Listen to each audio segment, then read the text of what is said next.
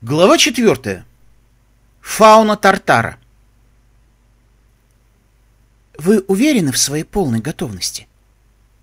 Принцесса Селестия обращалась к старшему из стоявших перед ней двоих земнопони. Ее вопрос не был праздным. Услышав в ответ «да», она собиралась открыть двери в самое негостеприимное и опасное место, которое только существовало в мире. Место — о котором большинству жителей Эквестрии было известно только то, что оно существует. Место, которое сама принцесса остерегалась посещать без крайней нужды. Место, куда ни один нормальный пони не отправился бы по собственной воле. Во имя торжества науки исследовательская группа собиралась отправиться в Тартар.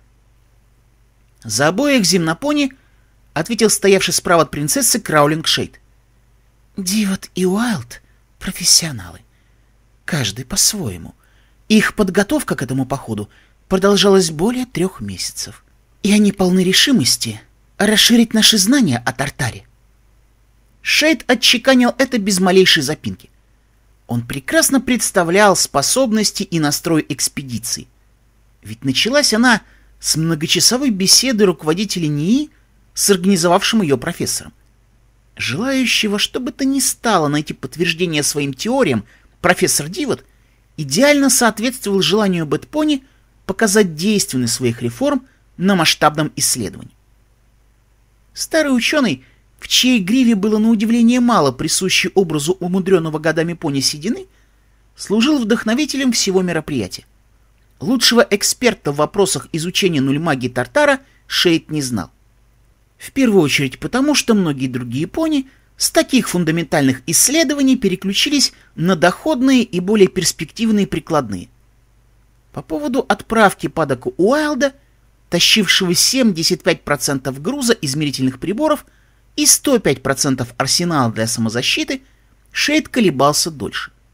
Но отправить в поход единорогов не позволяли опасения, что твари Тартара используют их магию для побега, а никто из известных ему и согласных на экспедицию пегасов и земнопони не обладал таким опытом выживания в экстремальных условиях, как бывший зоолог. Что ж, и еще раз желаю вам удачи. С этими словами принцесса Селестия начала плести заклинание. С кончика ее рога сорвалась искра магии.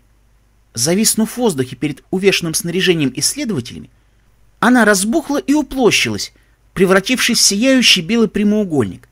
Медленно, словно проявляющаяся фотография, прямоугольник наполнился красками, превратившись в ведущую в другой мир прореху в пространстве.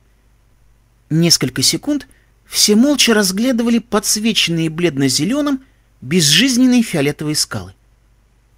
«Ровно через три дня я открою вам обратную дорогу», — сказала принцесса. Профессор Дивот кивнул и запустил надетый на ногу хронометр, начавший обратный отсчет. «Волнуюсь я», — вздохнул земнопони. «Но не будем держать двери нараспашку. Вдруг кто с той стороны заглянет». Однако прежде Дивота в портал запрыгнул увешанный сумками и странными приспособлениями бурый земнопони в потертой походной куртке. «Можно проходить, путь чист!»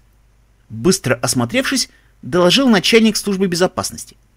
После того, как через портал прошел Дивот, Селестия закрыла и развеяла дверь между измерениями. Когда светящийся прямоугольник растаял, принцесса слегка поджала губы и чуть заметно качнула головой.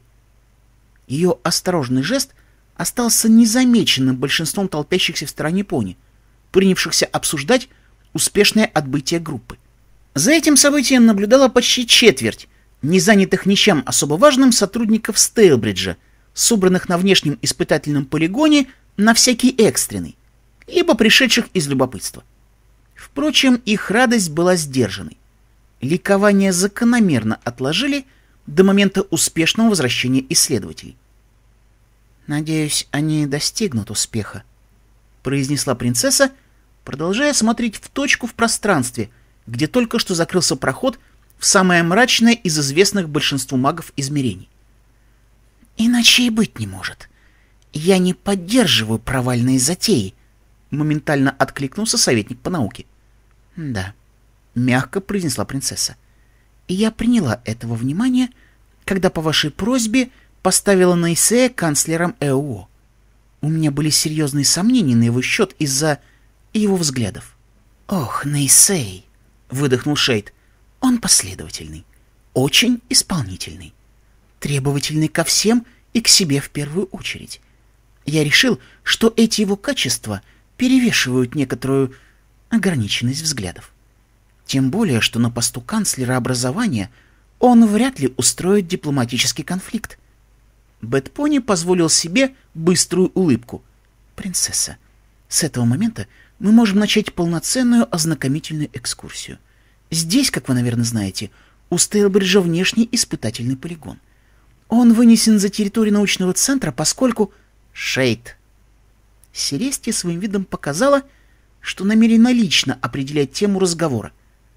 Я верю, что вы заготовили массу эффектных демонстраций, ползущих вверх графиков и выставку достижений. Но меня сейчас волнует не столько Стейлбридж, сколько вся ваша деятельность. Вы уже разобрались с тем безобразием, которое натворили в Мейнхэттене? Резким движением головы и демонстрацией клыков Бэтпони заставил отойти пару околачивающихся без дела практикантов. Предстоящий разговор не терпел посторонних ушей. Протест сотрудников медицинского центра не являлся согласованной акцией и угрожал подорвать доверие к государственной власти в среде ученых. Я принял меры по быстрой изоляции недовольных. Они получили административные взыскания. Но главное — обрели. Страх передо мной. Перед вами. Перед самовольно возникающими учеными сообществами вроде Союза академиков. Если говорить иносказательно, то я сделан манхэттенской интеллигенцией прививку от непослушания. На этом конфликт себя исчерпал. Впредь, Шейд, я бы попросила вас воздержаться от подобных методов. Сухо произнесла принцесса, не глядя на советника. А вас понял. Кроме того, я решила отпустить на свободу всех пони, состоявших в союзе академиков. Считаю, что они не представляют угрозы для Эквестрии. Полностью одобряя это решение, ваше высочество, склонил голову Шейд. Добавлю, что двое из союза, Диспьют и Глейсерхит, участвовавшие в заговоре скриптода Свитча, согласились сотрудничать и в данный момент освобождены из темницы. Они, так сказать, проверяют на прочность балтимейрский истеблишмент, в верности которого имеются определенные сомнения. Надеюсь, я не превысил в этом свои полномочия. Лучше уж так, чем разгонять гвардии толпу, — ответила принцесса. Возможно, они помогут нам найти таинственного магистра. Если этот магистр все-таки существует, мы сделаем все возможное, чтобы найти его и раз и навсегда положить конец его деятельности. Селестия повернула голову и встретилась взглядом с непроницаемыми черными стеклами солнцезащитных очков. «Вас никогда не интересовал вопрос, почему вы стали советником по науке?» После небольшой паузы спросила она. «Почему на этой должности я не оставила какого-нибудь старца, прочитавшего за свою жизнь тысячи книг? Или не поручила это дело своей ученице? А вы выбрали меня? Значит, на то были причины. Нейтральным тоном ответил Шейд. Я выбрала вас за качество, редкое для жителей Эквестрии, но крайне полезное в споре с учеными пони. Бэтпони заинтересованно поднял украшенные кисточками уши. Вы жестоки, Шейд. Ваша жестокость дает вам преимущество в решении вопросов, где требуется идти вопреки и против кого-то.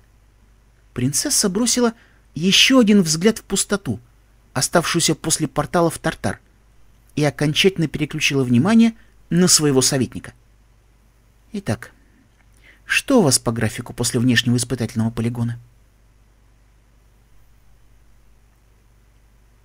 Последние ноты мелодии растворились в воздухе. Отняв серингу от губ, он позволил ей вернуться на привычное место на груди. Задумчиво провел по крученному шнурку, рассеянно вслушался в тишину.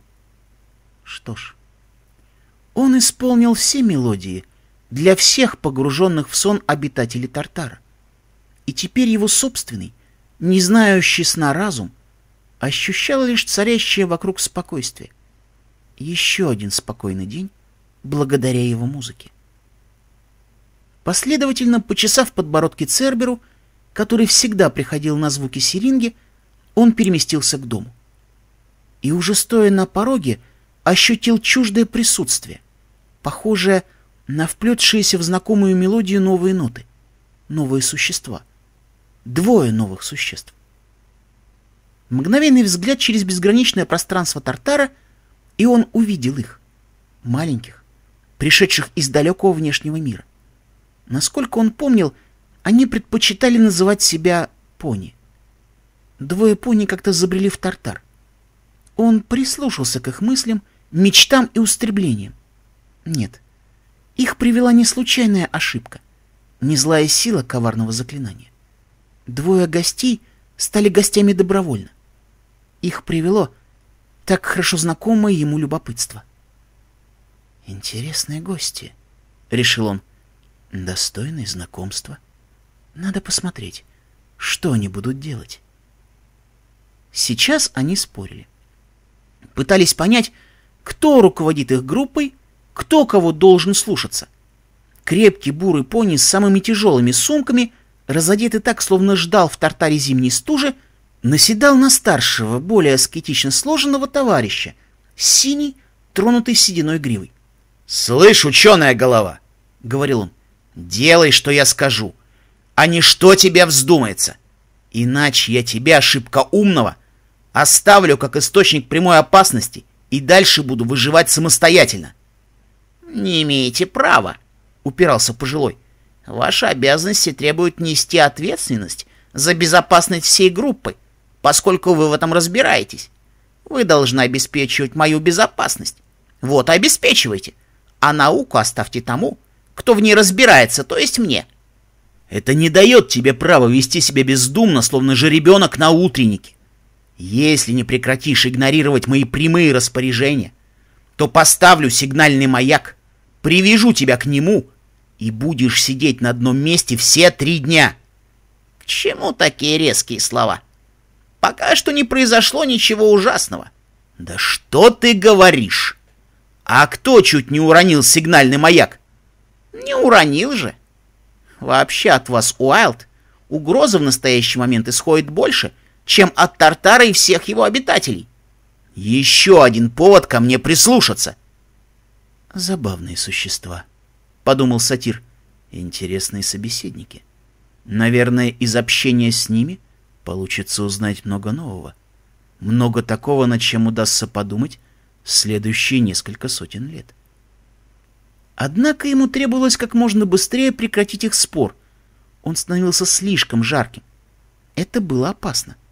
Естественная магия Тартара была крайне чувствительна к эмоциям живых существ, и мелодии, позволяющие поддерживать магический сон его подопечных, черпали силу из его собственного спокойствия. Принесенный же этими двоими эмоциональный хаос мог вступить в резонанс с этой магией и пробудить кого-нибудь из обитателей. Особенно он переживал за выводок медвежуков. Он сделал шаг сквозь разделяющее их пространство и взглянул на спорщиков с высоты своего роста. «Прошу прощения». «Не сейчас!» Одновременно отмахнулись оба спорящих пони. Забавные. Лишь с опозданием в несколько секунд они сообразили, что голос им не знаком, да и вообще здесь кроме них никого быть не должно. Каждый раз, встречая кого-то впервые, впрочем, с последней такой встречи минуло не одна сотня лет, он отмечал, что именно в его облике привлечет наибольшее внимание нового знакомого. Это стало своего рода игрой. Вот и теперь он, в свою очередь, смотрел на уставившихся на него пони, пытаясь понять, что они сочли наиболее примечательным? Витые рога с почти выцветшей оранжевой челкой между ними, раздвоенные копыта, выгнутые назад колени, руки с четырьмя пальцами, висящую на груди серингу или глаза. Понял он, встретив взгляды неожиданных гостей. Как и всегда, глаза. Горизонтальные зрачки всегда привлекали внимание и нервировали тех, кто впервые видел представителей его вида. «Меня зовут Селен», — соблюдая правила вежливости, представился он. «И я сатир. Возможно, вы слышали или читали о моем народе. Уже много, очень много лет я называю Тартар своим домом. Пони продолжали молча таращиться на него, но Селена это не беспокоило. Страх, удивление, робость — привычны для Тартара эмоций. Когда-то он сам испытывал их. Давно, очень давно. Так давно, что к настоящему времени от них не осталось и следа. За сотни и тысячи лет они давно угасли, сменились рутинными прогулками, музицированием, собиранием круглых камней в коллекцию — апатией? Могу я узнать, кто вы такие и что привело вас в этот неприветливый край? Они могли не отвечать. Он уже узнал о них все, уже понял их мотивы. Они явились в его мир, где никто не имел секретов от Селена, где он обязан был знать все обо всех. Старый пони, профессор Дивот. Селен чувствовал в голове ученого, страстное желание исследовать феномен нуль магии Тартара.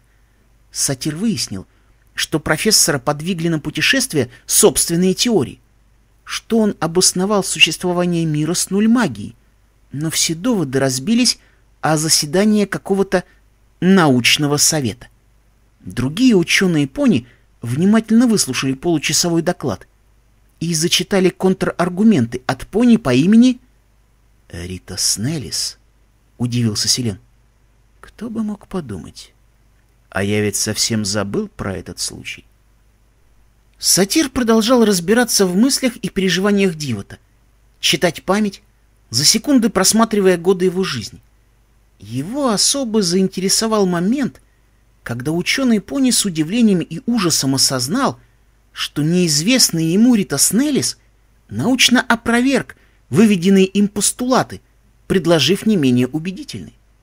И поскольку практических доказательств ни одна из сторон научного дискуса представить не могла, научный совет не принял ни теорию Рита Снеллиса, ни теорию Дивота, что и привело последнего прямиком в Тартар. Бурый земнопони по имени Падок Уайлд не принадлежал к касте выдающихся ученых, теоретиков, строителей гипотез и художников с кистью из формул. Однако при этом – он показался Селену весьма необычным и интересным.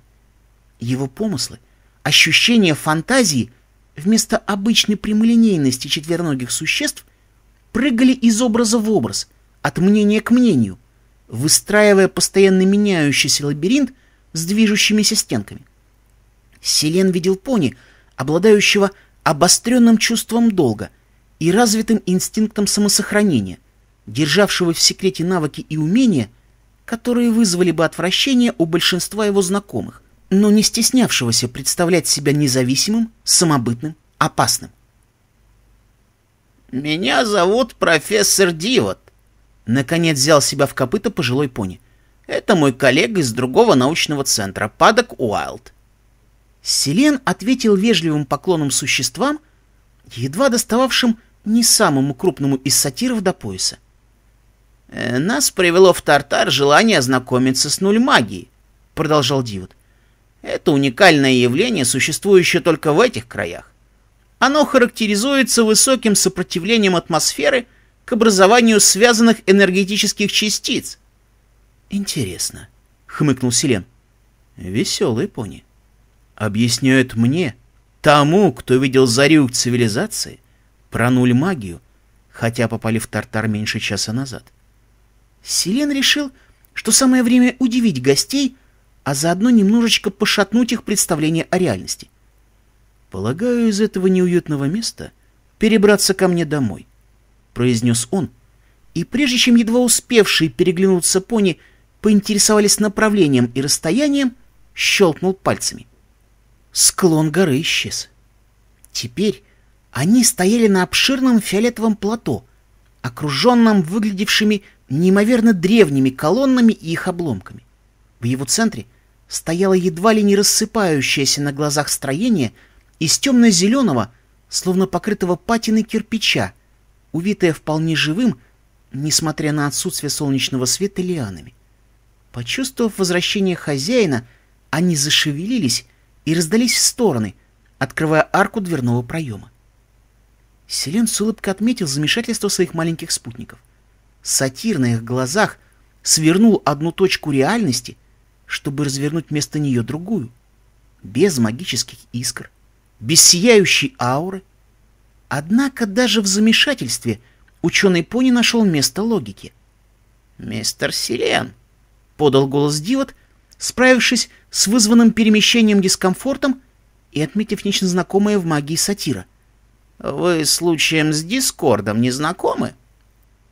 Интересный вывод. Неожиданный. Хотя нет, ожидаемый. Родился из сопоставления сходных мистических эффектов. Сатир снова заглянул в сознание гостей. Они слышали про Дискорда. Того самого Дискорда. «Тесен мир», — подумал Селен. «Мы, сатиры, называли его наш одичалый брат», — произнес он вслух. «Мы? Значит, есть и другие?» — спросил Падок Уайлд. Как говорили некоторые, сатиров в мире так мало, что хотелось бы еще меньше. Когда-то у нас имелся собственный город-сад — Ливгарден. Я все еще помню, как он выглядел. Помню лица моих собратьев, помню утопающие в зелени улицы, извиняющие фонтаны, высокие шпили и низкие крыши, мосты и развивающиеся на ветру стяги. Я помню все это, хотя природа изгнала нас из Ливгардена тысячи лет назад, засыпав его улицы песком и иссушив фонтаны. Слушая его, пони нерешительно топтались на пороге, выглядящие так, словно вот-вот готовы обвалиться по стройке, но вдруг одновременно двинулись в обратную сторону. Падок Уайлд при этом вскинул вооруженную пневмопушкой ногу и навел оружие на дверной проем — Селену хватило мгновения, чтобы понять, в чем дело. Увлекшись тем, чтобы произвести впечатление на гостей, он совершенно забыл об еще одном существе, составляющем ему компанию в этом неприветливом краю. «Эврептерида!» — воскликнул он, бесстрашно хватая и поднимая на руки черное жукообразное существо с лоснящимся панцирем. Пони даже при желании не смогли бы ему навредить, но вот напугать напугали а сами испытывали что-то близкое к отвращению. Домашний питомец невиданной породы, которого один из пони по внешнему виду определил в группу между морскими скатами и пустынными скорпионами, уютно устроился в мускулистых руках сатира. «Эврептерида живет у меня дома», — запоздало сообщил Селен. «Без нее мне стало бы невыносимо скучно. Она не очень разговорчива, но жизненного опыта ей не занимать. Эврептирида ползала по камням Тартара задолго до моего рождения. Пони наблюдали сцену милования между двуногим рогатым музыкантом и большеглазой зверушкой на суставчатых конечностях и дружно решили оставить увиденное без комментариев. Но Селен не упустил шанса поднять себе настроение и прочитать впечатление пони своими ментальными чарами. «Что еще живет в вашем доме?» Настороженно поинтересовался бурый земнопони.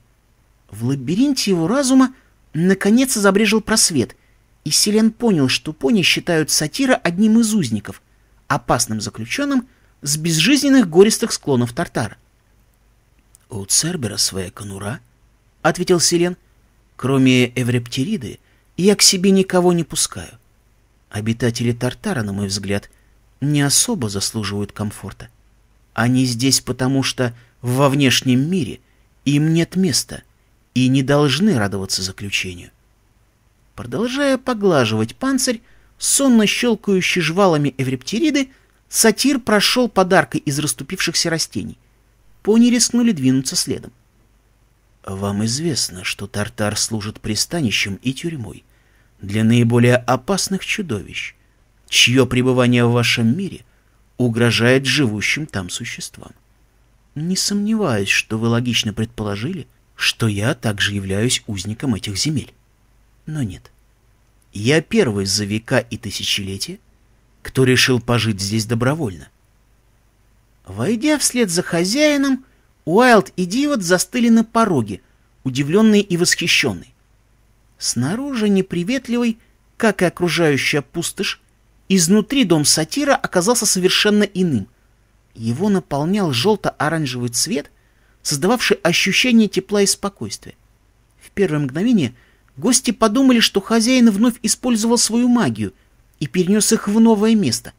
Но, приглядевшись, догадались, что раскинувшийся перед ними странный, но невероятно красивый город — всего лишь картинка, невероятно детальное воспоминание.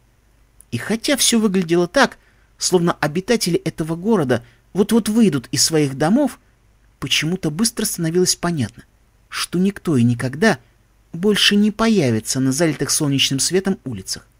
И вслед за первоначальным восхищением на гостей нахлынула щемящая чужая тоска по потерянному, оставшемуся только в воспоминаниях городу. «Оригинальная обстановка», — заметил Уайлд. «Улицы внутри дома». Всего лишь переменчивая иллюзия. Селен опустил питомца на пол, и тот, сокая лапками по желтой плитке, направился к правой стене. Внезапная Евриптерида спокойно прошла сквозь преграду, и звук ее поступи слышался теперь с той стороны. Сатир протянул руку и как бы оттолкнул от себя эту стену. Казавшаяся нерушимой кирпичная стена словно отодвинулась, и сквозь нее тут же проступили новые очертания. За несколько мгновений внутреннее убранство жилища полностью изменилось, сохранив лишь цветовую тему, дополнившуюся более густым оранжевым и красным. Древесные стволы и ветви создали широкую беседку.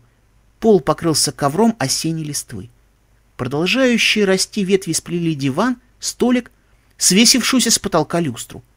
Иллюзия была столь совершенна, что казалось в листве вот-вот блеснет солнечный зайчик, а уши уловят пение птиц. Городской пейзаж окончательно растаял, сменившись уходящими в бесконечность рядами деревьев. «Так, ладно», — тряхнул головой Дивот.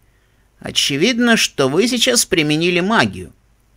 Сатир постарался убрать самодовольную ухмылку и, щелкнув пальцами, опустился на изменивший свою форму плетеный диванчик. Теперь он представлял собой кресло с высокой остроконечной спинкой.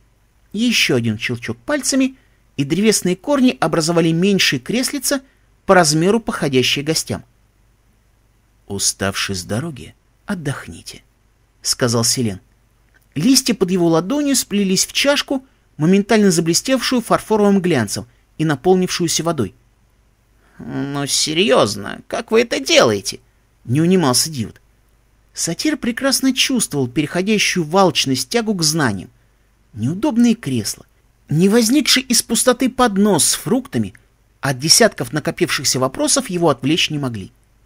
Падок Уайлд же, напротив, фруктам уделил особое внимание. Пару плодов он раньше видел, правда, в книгах об ископаемых растениях древних времен. Посему не упустил возможность переложить их в карман своего рюкзака. «Я могу ответить на ваш вопрос, но будет намного полезнее, вернее и вежливее, если вы сначала ответите на мои. Начнем с того, что вы пришли в Тартар изучать нуль магию, отвечал гостям Селен. Давайте сперва разберемся, что есть обычная магия. Под магией в Эквестрии понимают энергетическую характеристику, являющуюся мерой естественности материальных объектов. Тут же отозвался Дивот. Также магия это измеряемая в чарах степень утраты предметом естественных качеств в результате внешнего воздействия. Объективно магия является основой для циркуляции жизненных сил организма. Субъективно это направленный поток эмоционально-ментального излучения. А, тот самый магический дуализм, подразумевающий наличие видимого спектра колдовства и незримых чар – отражающий внутреннюю суть предметов, — кивнул сатир. — Вы знаете формулировку постулата Меркеласиса? — опешил ученый пони. — То, что я живу в Тартаре, не значит, что я не интересуюсь окружающим миром, — Чуть улыбнулся Селен. «Хорошо. Тогда вы, полагаю, знаете и про второе следствие постулата». Внутренние чары неодушевленного предмета отличны от внутренних чар мыслящего субъекта. Весьма спорная теоретическая догма, как я считаю. На ней базируется все современное колдовство. И именно поэтому у вас такие сложности с постижением феномена нуль магии и пониманием моего колдовства. Пока пожилой пони готовился отвечать, сатир почувствовал всю нарастающую скуку падока Уайлда. Впрочем, и шебуршащая листьями эврептиида смогла бы заметить. Настолько усердно зевал земнопони. «Пора разграничить общение», — решил сатир и сделал едва заметный жест, проведя большим пальцем правой руки по трем другим. Селен остановил течение событий в своем доме и оставил эту реальность. Он оказался в небольшом, размером с фургон кабинете, среди оплывших свечей, разбросанных по столу покрытых письменами вощеных табличек, палочек для письма, а также куда более современных предметов, на удивление не кажущихся чужеродными в этой обстановке. Он послал мысленный вызов двум существам, которых желал немедленно видеть. Те, к кому обращался Селен, могли находиться в сотнях километров от Тартара и тратить время на повседневные хлопоты. Но едва заслышав зов сатира, две нимфериады, две вечно живущие сущности, служившие своему создателю, без отлагательств покидали свою реальность и переносились в измерение Тартара. Селен кивком поприветствовал своих нимфериад. В нынешний век они приняли вид кобылок, голубой с розовыми хвостом и гривой, и розовый с голубыми. «Мне нужно, чтобы вы на время заняли моего второго гостя». Селен обращался к лучшим, по его мнению, экспертам в обеспечении приятного времяпровождения с точки зрения пони. Лотус и Алоэ перевели взгляд сатира на бурого земнопони, замершего в момент застегивания карманов вместительного рюкзака. Их не слишком обрадовала необходимость отрываться от привычных дел в спа-салоне, но происхождение обязывало. «С ним непросто», — предупредил Селен. «Его мысли и желания запутаны, и даже мне тяжело сквозь них пробиться. Однако я верю, что вы найдете подход.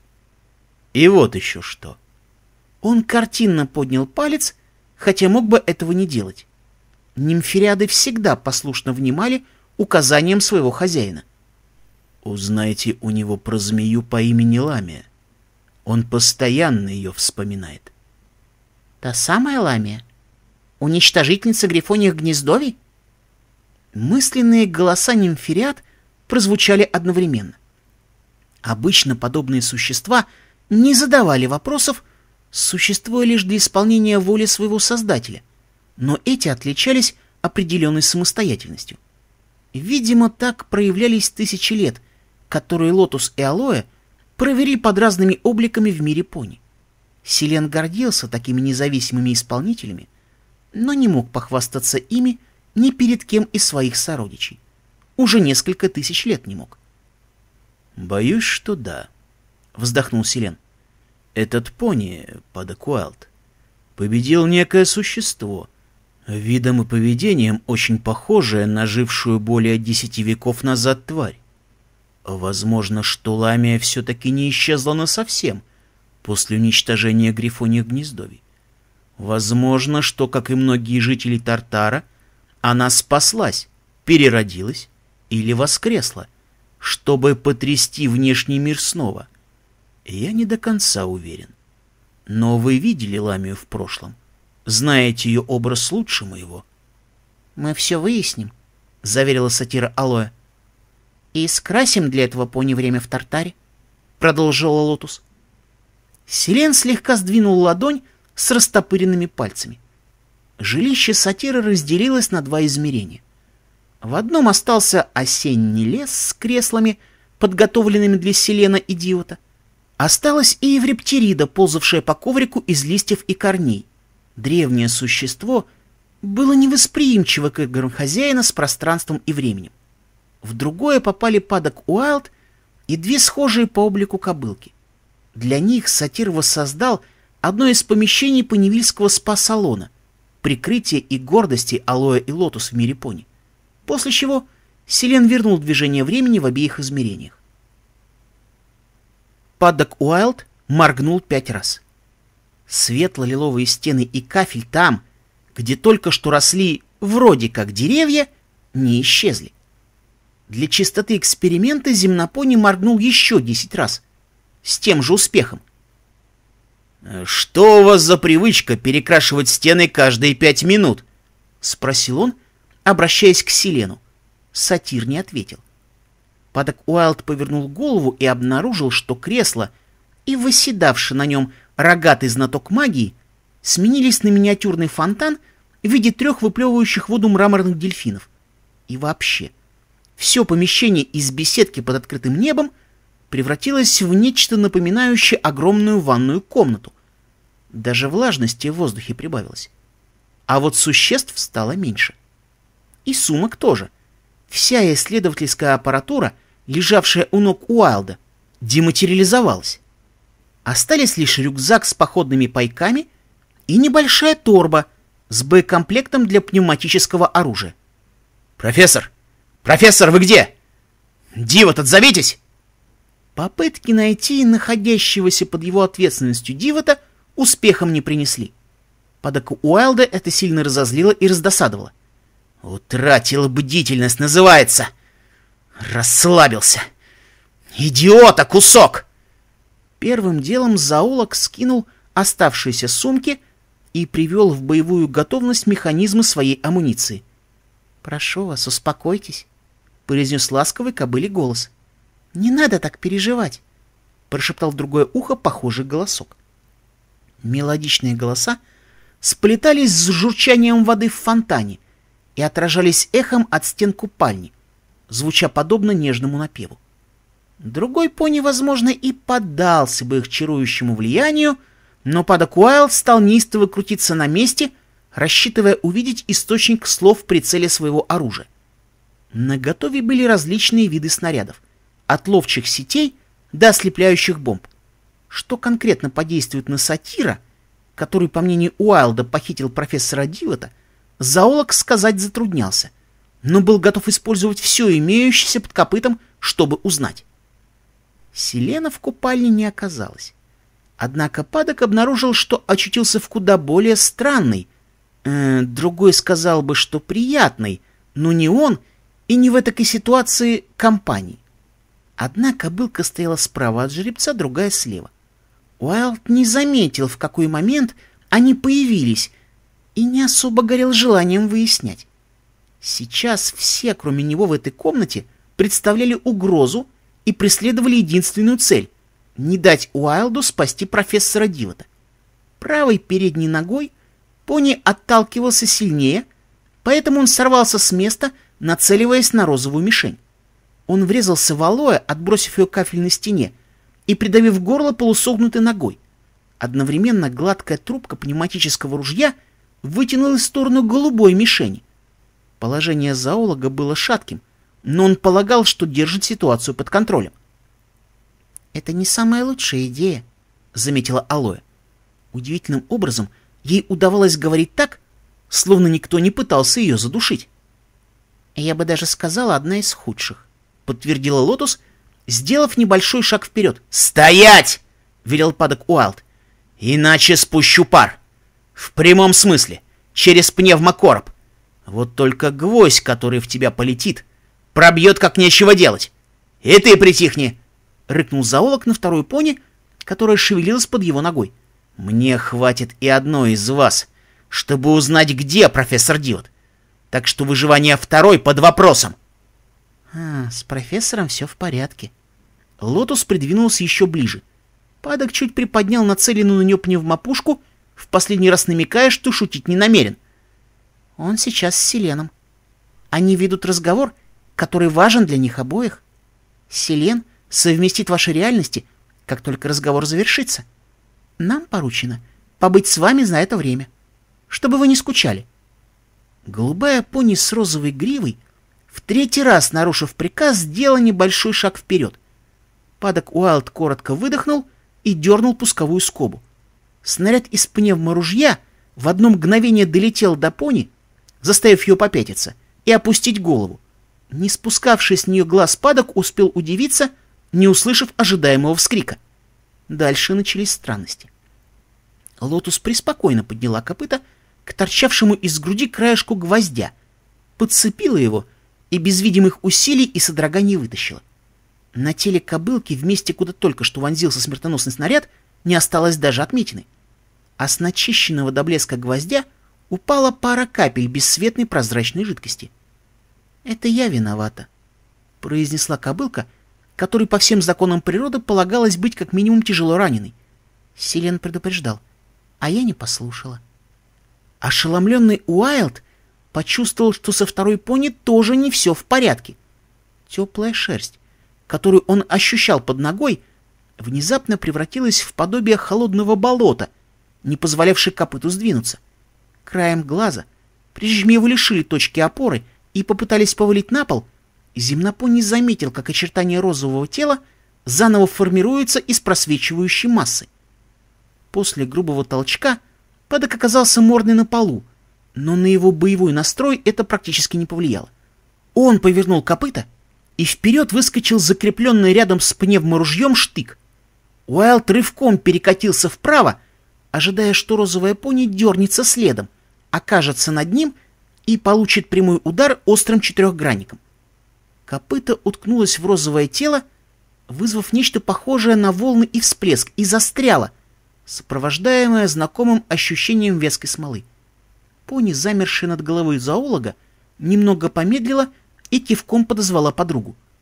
Та переняла хват на левой передней ноге жеребца, после чего розовое с голубой гривой превратилось в прозрачное, похожее на медузу существо, внутри которого отчетливо виднелись белые проволочки сосудов, две звездочки зрачков и белый сияющий мешок, от которого по сосудам расходилась пульсация.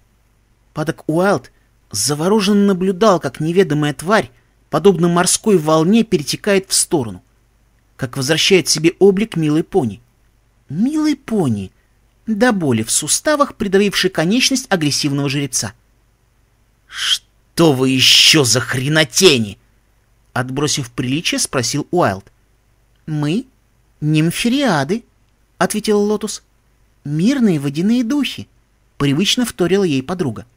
В этот момент ее голос заправду походил на журчание воды. «Водяные, значит», — рыкнул Уайлд, предприняв еще одну попытку резко вывернуться. По его опыту, гранитные скалы сдвинуть было бы проще, чем этих кобылок. «Надо будет против таких, как вы, огнемет прикрутить».